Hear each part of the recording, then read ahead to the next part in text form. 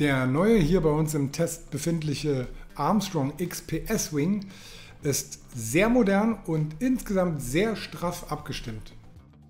Die Frontschlaufe ist gut dimensioniert, ausreichend fest, sodass sich hier der Wing wirklich gut führen lässt.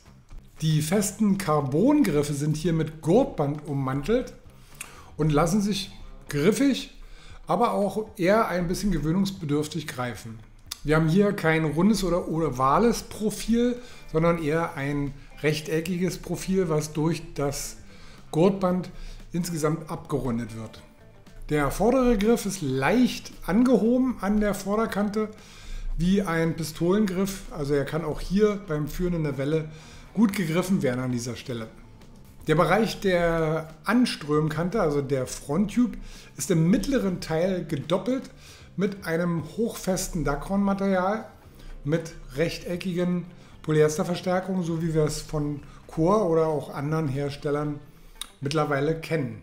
Die Fronttube ist mit einer einfachen Kedernaht verschlossen. Beim Flugtuch hat sich Armstrong hier für ein Triple Ripstop Material entschieden.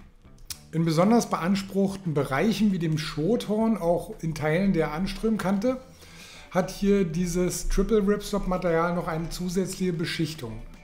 Die Abrisskante ist zweifach gedoppelt und besitzt halt jeweils zwei Latten rechts und links, um hier ein Flattern der Abrisskante so gering wie möglich zu halten. Das Infill-Panel stützt hier das insgesamt flache Profil auf fast der ganzen Länge ab. Es ist vorne und hinten nur leicht geöffnet. Die mittlere Strut besitzt nur einen sehr leichten S-Schlag. Die Tuchstraffung des Armstrong XPS Wing ist absolut hervorragend. Hier gibt es wirklich keinerlei Fältchen. Und auch in puncto V hat man sich hier bei Armstrong auch im mittleren Teil wirklich zurückgehalten. Das Ganze macht hier wirklich im ersten Moment, wo man es in der Hand hat, den Eindruck, dass es aus einem Guss ist. Die Mittelstrut ist mit einer Single-Naht am Fluchtuch befestigt und von der Innenseite gedoppelt und vernäht. Und da Armstrong hier die Fenster, die von der Anströmkante bis zur Abströmkante fast durchgehend sind, so direkt an die Mittelstrut gesetzt hat, wird wirklich hier eine gute Übersicht nach Lee möglich. Aufschlag- und Scheuerstellen sind mit einem wirklich schweren Dacron-Gewebe verstärkt. Ähnlich wie bei F1 legt man auch hier beim Armstrong XPS Wing sehr viel Wert auf saubere Krafteinleitung vom Schothorn aus.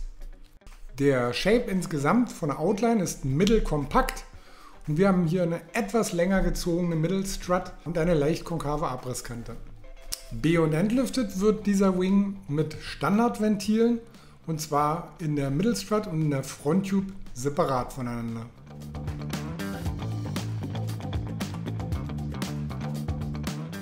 Bei dem XPS Wing haben wir ein wirklich flaches, aber durchaus effizientes Profil.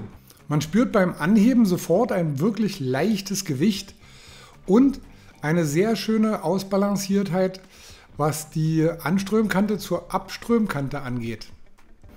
Die Tip-to-Tip-Balance muss insgesamt halt ganz leicht auch beim Anpumpvorgang über die hintere Hand geführt werden. Das heißt, auf der hinteren Hand wird auch beim Anpumpvorgang immer minimal leichter Druck ausgeübt. Und wählt man hier aufgrund des flachen und wirklich straffen Profils einen tiefen Raumschuttkurs und pumpt das Ganze mit einer wirklich kurzen, hohen Frequenz, so kommt man hier erstaunlich früh auf sein Foil.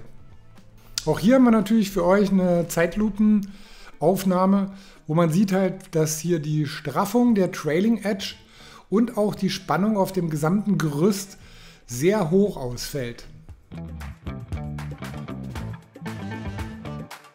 Stimmt der Winkel beim Anfahren, so merkt man hier, dass der Wing sehr schön aus der gesamten Fläche sich anpumpen lässt und dadurch halt eine hohe Effizienz generieren kann. Ähnlich wie beim zuvor getesteten F1 Strike V3 ist das hier eher eine aktive Geschichte.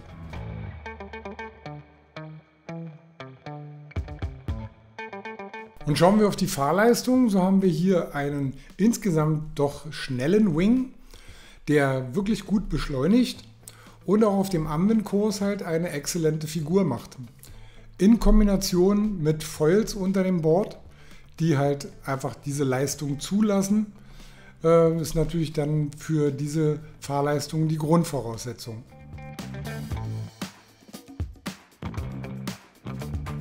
Getestet haben wir den XPS Wing in 4,6 und 5,3 mit unterschiedlichen Vollgrößen zwischen 1475, 1225, 1050 und 850 Quadratzentimetern.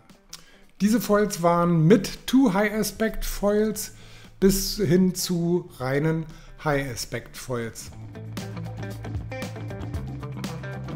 Das Manöverhandling des Armstrong XPS Wing ist ganz ausgezeichnet. Man muss vorneweg dazu sagen, wir haben so ein kleines bisschen nach Luftticken der Anströmkante, was äh, die Tags sogar noch schneller gestaltet. Aber auf der anderen Seite auch eine frei schwebende Trailing Edge, die hier nicht mitgeführt werden muss, sondern die wirklich intuitiv sich auf die andere Seite bewegt. Das leichte Gewicht und die insgesamt gute Ausbalanciertheit erlauben schnelle Drehungen des Wings, sodass hier wirklich ein sehr, sehr angenehmes Manöverfeeling aufkommt. Die, dieser gesamte positive und harmonische Eindruck wird unterstützt von absolut hundertprozentig präzise an der richtigen Stelle positionierten Griffen, die genau im Druckpunkt sitzen.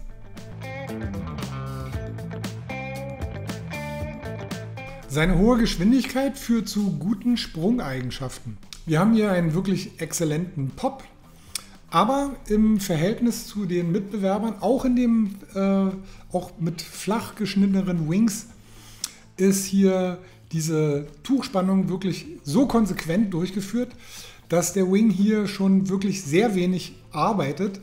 Das heißt halt, er trägt beim Fliegen insgesamt nicht ganz so lange wie der ein oder andere Mitbewerber.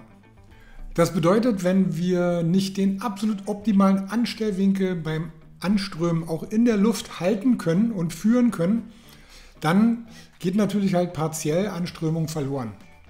Bei Sprüngen mit Rotation dreht der Wing hier sehr schnell. Das ist auch wieder das flache Profil natürlich von Vorteil. Und auch dieses leichte nach Luft ticken ist ein bisschen aggressiver, ein bisschen sportlicher, aber es ist auch nicht übertrieben.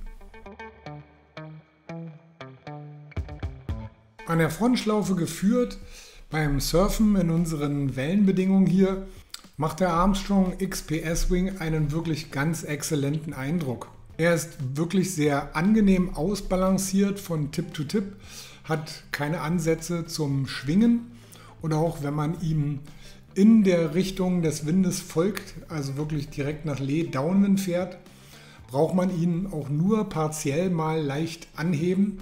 Ansonsten ist die Trailing Edge insgesamt immer sehr schnell frei und äh, der Wing trägt sich hier in dieser Disziplin halt wirklich auf allen Kursen und äh, in allen Bereichen doch mehr oder minder von allein.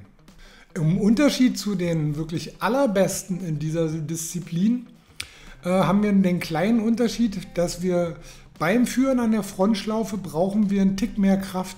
Das liegt daran, dass äh, Armstrong hier beim Fronttube-Durchmesser die Tippbereiche nicht so stark reduziert hat, sondern sie besitzen noch einen gewissen Umfang, um da natürlich auch die Steifigkeit des Gerüstes zu erzielen. Aber um nochmal mehr Leichtigkeit und spielerisches Moment reinzubringen, äh, könnte man das noch etwas schlanker gestalten.